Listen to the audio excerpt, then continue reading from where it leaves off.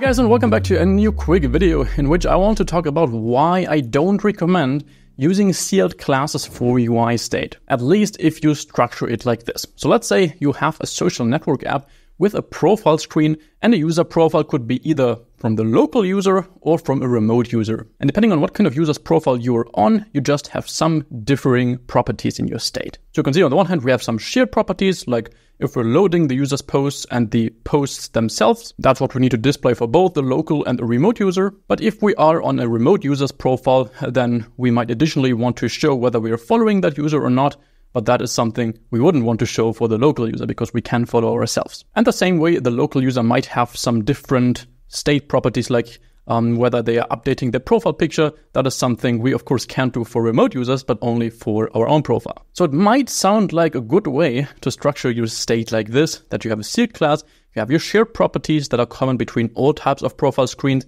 and then you have different options depending on what type of screen you're on.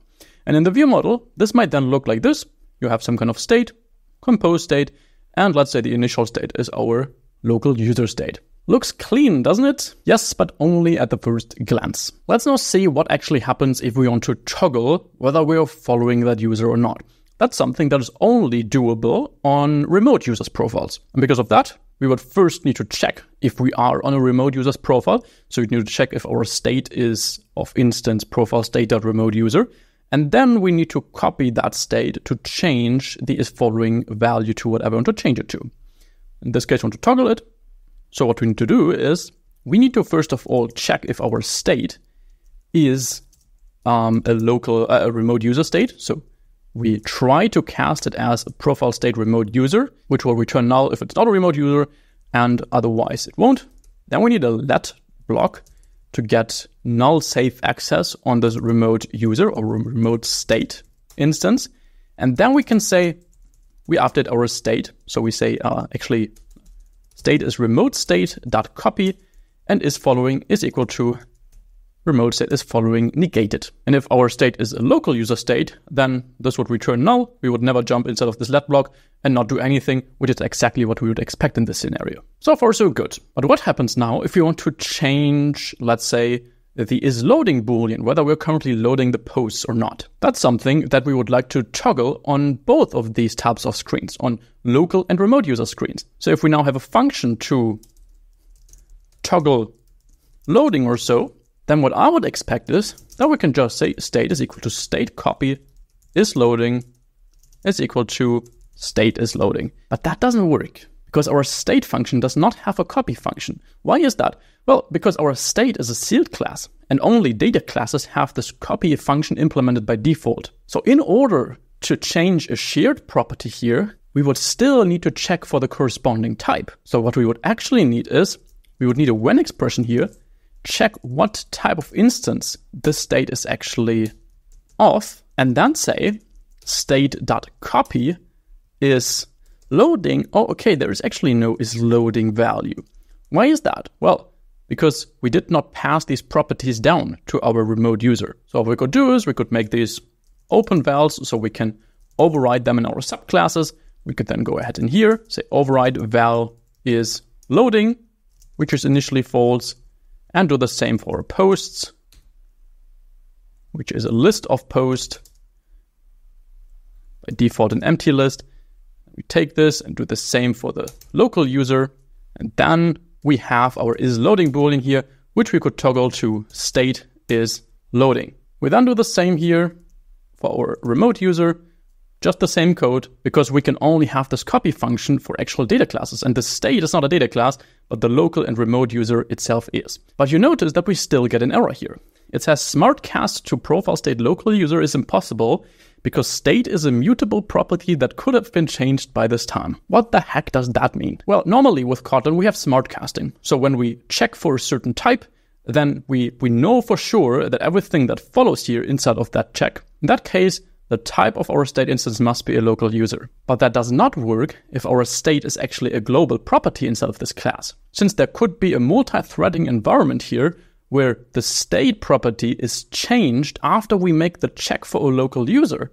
So right before going inside of this copy call, the state could have already been changed to a remote user state, and then we wouldn't have this, this type safety anymore. If the state would be initialized in this function, that would all not be a problem because then um, the IDE is smart enough to recognize that there are no threads in between that could change this uh, state. But if it's global, then there could be any other thread inside of this class that changes the state in between.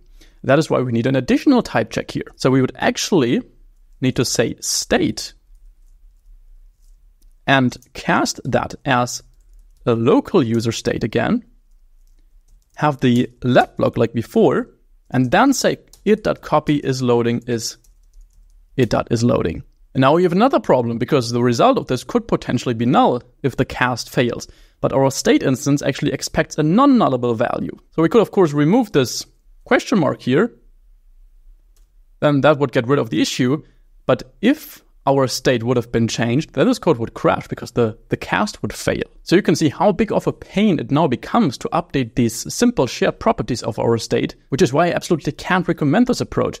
Another thing that is terrible about that is that we need to duplicate all these properties here for every single state, just in order to change these. Since in order to use the copy function with these properties, they just need to be part of the data class itself. So let's talk about a better alternative. In the end, we want an easy way to update the shared properties just by saying state is equal to state.copy. And we just want to need those typecasts if we're changing a property that is very specific to one of these types of users. So why don't we just establish that sealed hierarchy just for those individual properties? So we could have something like a sealed interface, profile details, for example, and we say, okay, we have a data class for local users where the individual property is, is updating profile picture that is of type profile details. And we have the same for remote users where the property is is following. And now we can get rid of the state as it is here, make that a data class instead,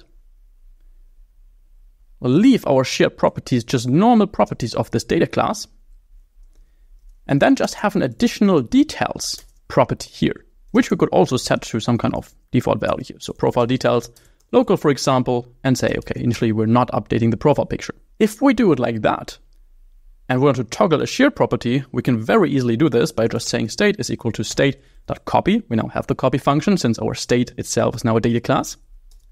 We say is loading is state is loading. That works perfectly fine.